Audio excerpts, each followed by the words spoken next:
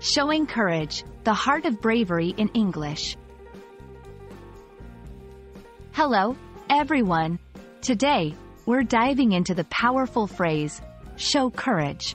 Courage is a trait we all admire, and it's a common theme in English storytelling, conversation, and even in our daily lives.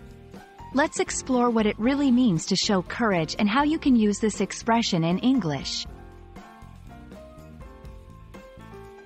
Show courage isn't just about being brave in the face of danger.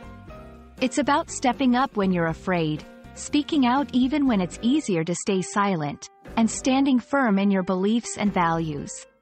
Whether it's trying something new, facing a tough decision, or dealing with everyday challenges, showing courage is about not letting fear hold you back. Let's look at some scenarios where someone might show courage. A student who's afraid of public speaking volunteers to give a presentation. An employee shares their innovative idea with the team, even though it's different from what's been done before. Someone stands up for a friend who's being treated unfairly, even if it might make them unpopular. In these situations, courage isn't about the absence of fear, but about taking action despite that fear. Courage comes up a lot in English, so here are some related phrases you might hear. Brave the storm, to endure a difficult situation with courage. Take the bull by the horns, to face a problem directly and boldly. The courage of one's convictions, having the confidence to do what one believes is right. These phrases encapsulate different aspects of courage and can be used in various contexts.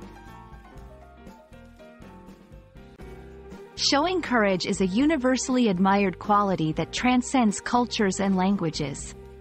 It's about the small and big moments when we choose to act, despite our fears.